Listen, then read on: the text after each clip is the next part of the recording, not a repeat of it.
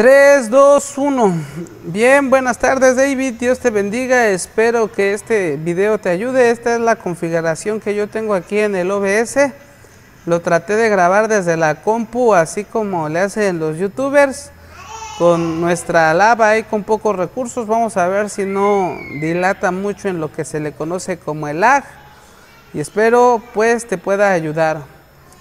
Ya nos vamos ahí cuando abrimos ahí el programa del OBS a lo que es este los ajustes.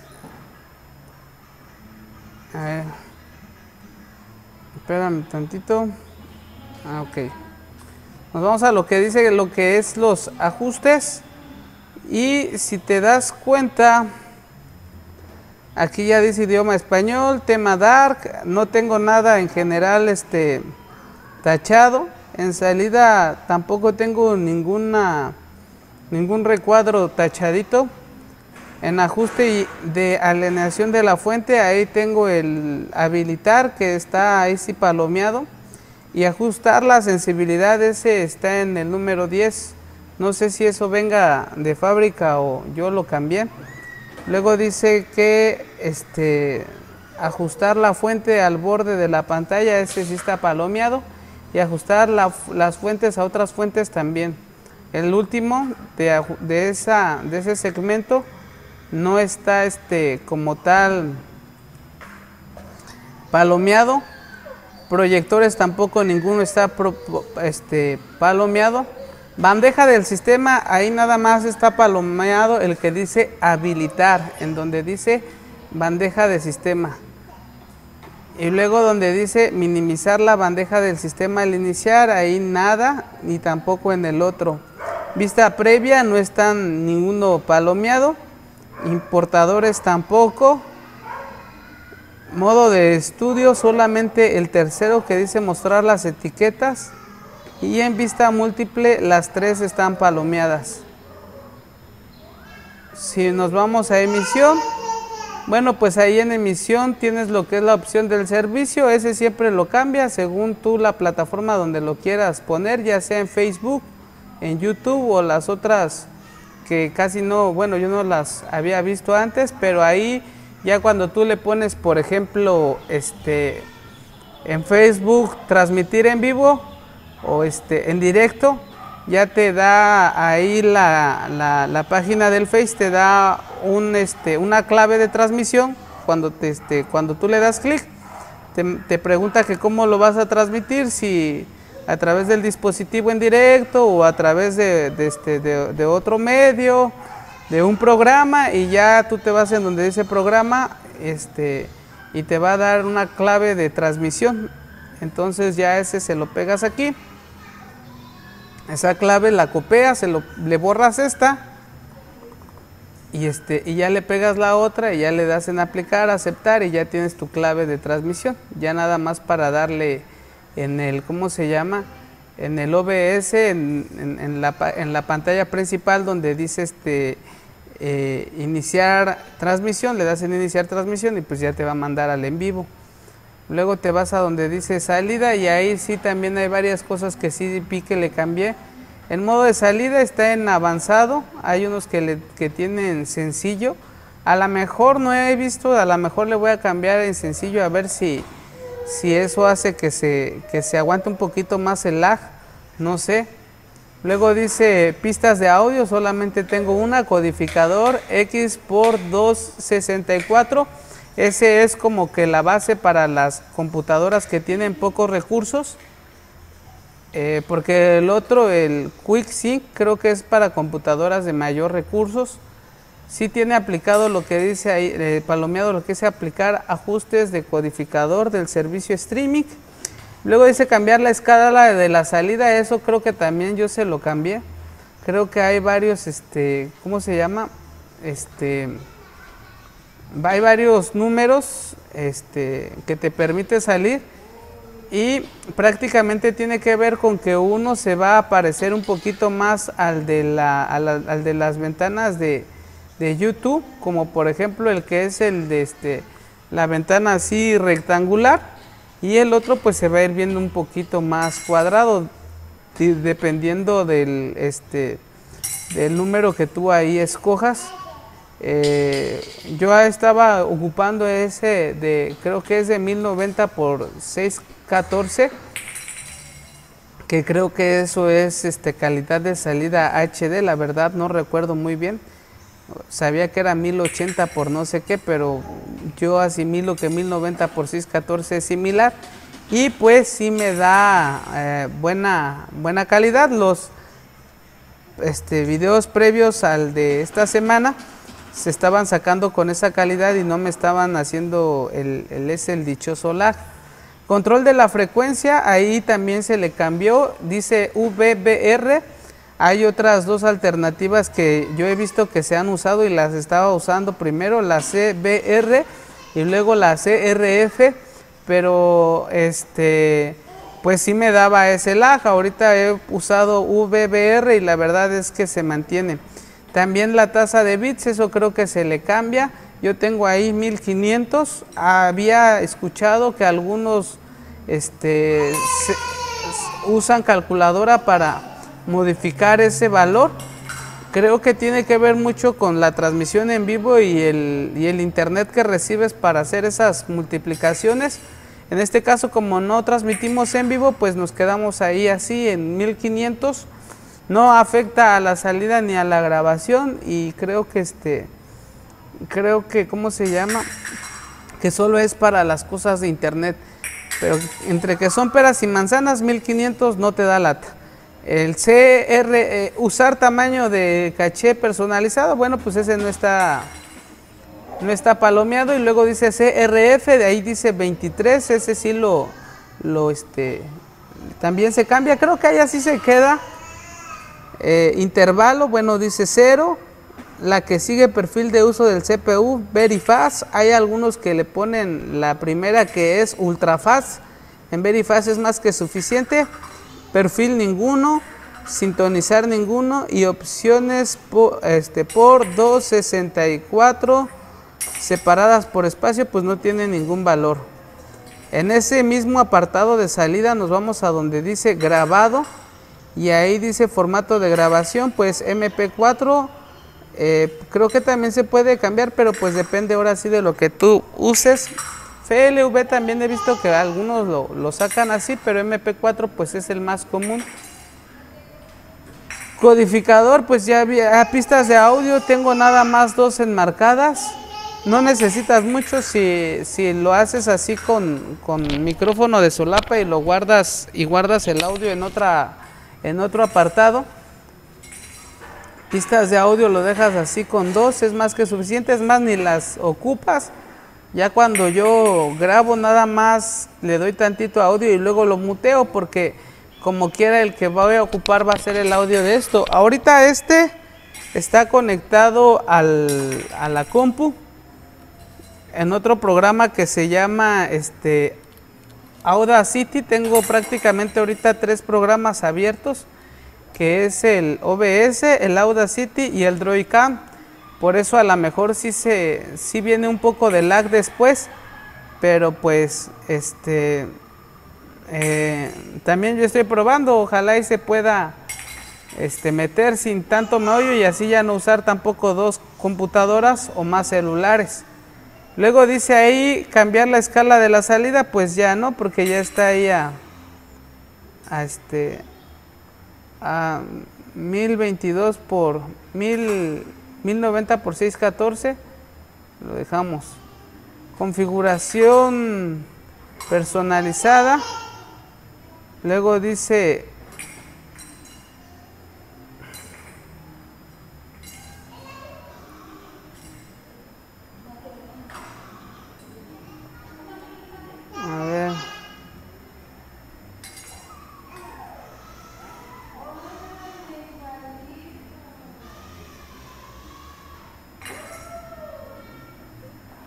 Control de la frecuencia, CRF. Vamos a igual de CRF, ahí lo tengo como CRF. CRF 21. Intervalo de los fotogramas, 0. Perfil del uso CPU, very fast. perfil high. Hay unos que había dicho que main o medio está bien, lo voy a cambiar yo a main. Sintonizar ninguno y sería todo de esa de esa pestaña de grabando, luego te vas a audio, pues ahí pues prácticamente no le mueves nada, si igual que yo lo vas a meter un audio este aparte ya con el Filmora y luego te vas a la última donde dice buffer de reproducción, ahí dice activar la reproducción del buffer. El buffer técnicamente es que tú tengas un video o una parte del video que se esté repitiendo constantemente de aquí a lo que pasa tu transmisión en vivo. Por ejemplo, no sé si ya lo has hecho o no, pero cuando pones en iniciar transmisión, automáticamente ya está, más bien dicho, desde que tú ya pones lo que vas a transmitir en el OBS ya está avanzando. Y por ejemplo, si tú pones luego, luego tu predicación, pues ya cuando la transmitas en vivo o cuando ya lo agarre Facebook, pues ya va a llevar algunos segundos, si no es que hasta minutos, corriendo tu, tu video dentro del OBS y por ende pues va a estar atrasado tu este, o más bien dicho va a estar recortado tu, tu, tu mensaje. Lo que yo hago para no usar lo que es el buffer es meterle ese tiempo, este, ¿cómo se llama? Tiempo en retroceso donde dice 7 minutos, faltan 6 minutos, faltan 5 minutos, porque en lo que lo pongo ya está avanzando aquí en el OBS y ya cuando lo, este, lo paso en el Facebook Live, sí ya llevaba uno o dos minutos avanzado, pero como quiera todavía me quedan cinco de espacio para, para la transmisión en vivo. Si no lo tuviera así, pues inmediatamente saldría Jimmy o el que es el que lee la Biblia o ni siquiera él saldría completo porque le quita, le quita tiempo. Para eso lo que recomiendan para que no te quite tiempo es el activar la reproducción del buffer. Pero este pero yo no le veo caso si tienes tiempo de sobra o te previenes con tiempo de sobra para hacer tu transmisión en vivo. Luego dice buffer de reproducción, tiempo máximo para repeticiones 20 segundos, pues eso es del, tiempo del buffer o de lo que te estaba explicando que este que el buffer prácticamente el OBS agarra un pedazo de tu video y lo comienza a repetir, en este tenor serían los primeros 20 segundos. Y lo repite y lo repite y lo repite hasta que tú le des ya, hasta que tú ya lo sueltes para iniciar la transmisión. Luego dice memoria máxima 512 megabytes.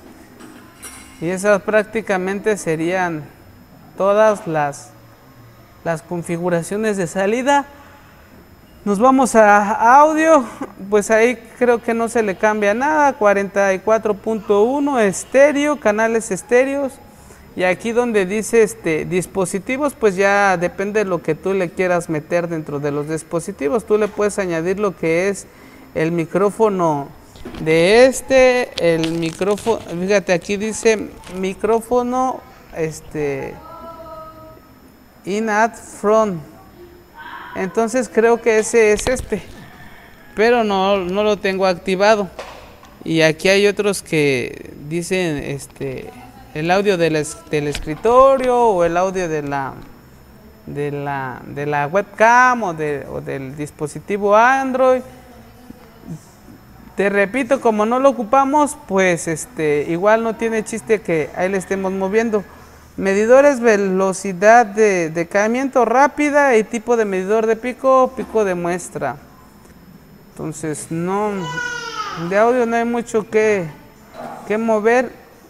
Em, había visto un video donde si te sigue saliendo ese retraso de algunos segundos, lo que te recomendaban era hacer una modificación del audio, de la salida de audio, de un retraso ya programado en tu audio de algunos segundos y prácticamente es igual a lo que va en el, en el video. Esa era una forma de eliminar, pero no recuerdo dónde está esa, esa configuración este, prácticamente eh, la pantalla no te sale así como ahorita, sino que es otro, otro tipo de, este, de ajustes. No sé si esté dentro de la pantalla principal o en, o en otro este apartado. Voy a investigar y si ahorita lo, lo, encuentro luego luego te lo, te lo paso para que lo abras y ahí también cheques tú si le puedas cambiar. Video resolución del lienzo aquí le tengo en 1366 por 768 que es la capacidad prácticamente de la de la cómo se llama de la pantalla si tú le pones menos, pues te ocupa menos de lo, que, de lo que la pantalla. Lo recomendable es que ocupes todo lo de la pantalla, todo lo del escritorio. Y ya en la de la salida, ahí sí se lo cambies, ahí sí se lo cambies a mil, a la, a la otra resolución que tú tengas, a la ya sea 1092 por 614 o 1025, dependiendo como tú quieras, pues ya se lo puedes poner. Si solamente es para transmitir en Facebook y en YouTube, Todavía hasta 816 por 460 te puede servir porque pues prácticamente las ventanas de ahí son muy pequeñas. Entonces, eh, esos valores, esencialmente todo lo que tiene que ver con resolución de salida, son cambiables precisamente por eso, porque como tiene que ver con, con, este, con el dispositivo en el cual se va a transmitir, eh, pues al buen entendedor dices tú, no voy a, transmitir en una pantalla que, los hermanos tengan de 40 pulgadas, pues tu, resolución de salida puede ser corta. Si sientes tú que nada más te van a ver en el Facebook o a lo mucho en la computadora, pues 1092. Si tú quieres nada más para Facebook cortos, pequeños videos muy cortitos o este o, ¿cómo se llama? o que vas a hacer esa transmisión en Facebook y, pues las pantallas de ahí son pequeñas, igual 816 por 460 son buenos píxeles para, para ese tipo de plataformas. YouTube igual sí requiere ya por lo menos ese de mil, mil, 1025 creo o 1092, 1024 o 1092 para que mínimo se vea más o menos porque pues a veces la pantalla ahí la agrandan. Filtro de escala y aquí tengo que dice bio, bicúbico. Bicúbico, escalado fino y 16 muestras. Eso creo que ahí estaba de, cajón. Valores comunes de FPS, ese sí lo cambié. Este, algunos recomendaban que hasta 30, pero creo que tiene que ver con los recursos de la, de la computadora. 20 creo que lo hace muy, lo rentiliza, hace como que muy, un poquito torpe lo de la grabación y esto. Y 25 a mí me ha funcionado muy bien. 25 PAL, ese, ese, ¿cómo se llama? Valor, ahí lo, lo usé y lo dejé, no, no le afectó en nada. Atajos, pues no tenemos ni uno. Y avanzado, mm, general Dice ahí...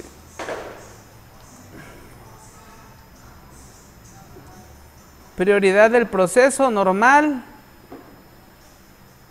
Los otros valores no les se los cambié lo de dice video. Tengo Direct 3D 11, formato de color NB12, espacio de color 709, gama de colores completo, número de de archivos de formato, pues tiene puros símbolos, prefijo del nombre del archivo del buffer, replay, mm, pues prácticamente son esas cosillas.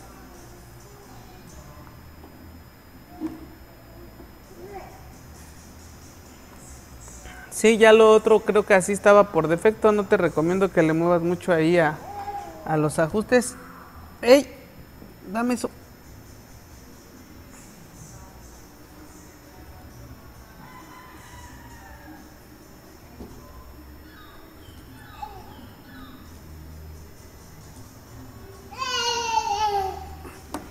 Perdón, están aquí los cuatitos y mira lo que se estaba comiendo la Judy. Se estaba metiendo un pedazo de papel, quién sabe dónde lo encontró. Como comimos tortas en la mañana, se me hace que fue una servilleta que por ahí quedó y anda de la tosa. Entonces esos prácticamente son los ajustes del OBS. Este, eh, a mí me han funcionado. Chécalos. Sí hay varios que sí, sí le había cambiado yo por los diferentes videos que había tenido y sí me, sí me han dado este, solución, espero a ti también. Y pues en torno a lo del audio, esto era lo que te decía, mira.